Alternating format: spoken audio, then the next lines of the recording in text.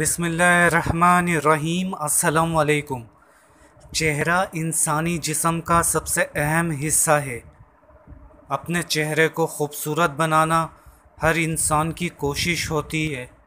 इंसान चाहता है उसका चेहरा खूबसूरत, दिलकश और पुरनूर नज़र आए। बिलखसूस ख़वातीन अपने चेहरे की खूबसूरती के लिए बहुत ज़्यादा परेशान रहती हैं। उनकी हमेशा ये कोशिश रहती है कि उनका चेहरा तरोताज़ा, पुरकशिश और ख़ूबसूरत नज़र आए। इसके लिए ख़वातीन मुख्तलिफ़ इकसाम की क्रीमें, लोशन और हर तरह के घरेलू टोटके इस्तेमाल करती हैं, जबकि मौजूदा दौर के जवान भी चेहरे को हसीन बनाने की तगोदों में ख़वातीन से पीछे नहीं। इस वीडियो में हम आपको चेहरे की खूबसूरती के लिए नहायत आसान वज़ाइफ बताएँगे।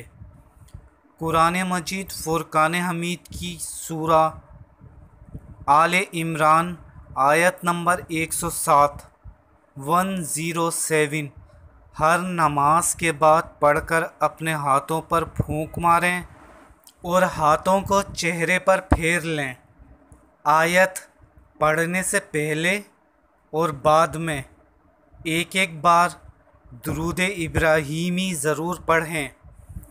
रात को सोने से पहले इसमें इलाही या करीमों, एक तस्बी यानी सौ बार पढ़कर हाथों पर दम कर कर चेहरे पर फेर लें।